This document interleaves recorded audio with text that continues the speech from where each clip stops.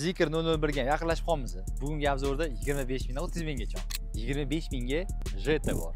Men noto'g'ri aytdim jeta. Bu mashinamiz bo'lsa brutor atmosferniy ekan bu joy bilmayman nimaga lekin faqat kal sig'ar ekan bu bu mashina narxi 25500 endi keyingi mashinani ko'ramiz. Italyanislar faqat makaron emas e, mashinani ham yaxshi ishlab chiqargan. Fiat 500 mashinamiz 4 kishilik lekin ikkita eshigi bor. Orqasi juda tor ekan lekin saloniga gap yo'q. Hamma narsasi нежный ishlangan. Faqat kir qo'lingiz bilan ushlasangiz mana bu rulingiz isqir bo'lib ketadi. Chunki rul oq rang ekan. Hamma narsasi eshikni qarasangiz ozgina tepasi plastik ekan lekin yumshoq ekan mana taraflari ham. Mashinamiz brukka atmosferniy. Kelayimga nima mashina olishni bilmayotgan bo'lsangiz mana shu mashina zo'r ekan.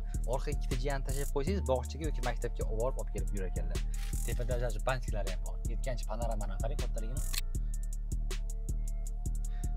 bemalol hazillashdim toyotani ol keldingmi ukam? Olsammi uchinchi variantimizda toyota corolla. Yangicha dizayn ikki ming yigirma to'rtinchi yil besh o'n yetti kilometr yurar ekan dizayn вообще o'zgacha chap o'ngga pavorotniklari qo'l barmog'imizda joylashgan ekan. Suv qo'yadigan joy yo'q.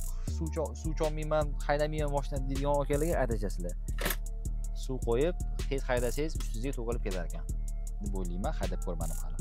Moshina haydab yetib bordingiz. Uyingizgami qaysidir bitta joyingizga. Qayerdan tushaman deb dovdirab qolmaslik uchun oynadan sakramaysiz. Loboylarni sindirib boshqa qilib. Barmog'ingizni shundoq qo'lingizni shundoq tiqib bundoq bossangiz eshik o'zi ochilar bu moshinani yana bitta noodatiy tarafi bor ekan. Oyna kontrolleri hamma moshinada to'rtta bo'lsa a bunda bitta. Kontrolni qayerdan qilsak bo'ladi tepaga pastga qilsak bu bilan old ikkitani boshqaramiz bosib tepaga pastga qilsak orqadagini tushirib ko'tarsak bo'ladi bugungi ko'rib chiqqan mashinalarimizni hammasi telegram stok savdo kanalimizda bor. Obuna bo'lib qo'ying yengillik kuting bizni не только shaharda balkim chet elga ham chiqib ko'ramiz. Qozog'iston qirg'iziston также dubay.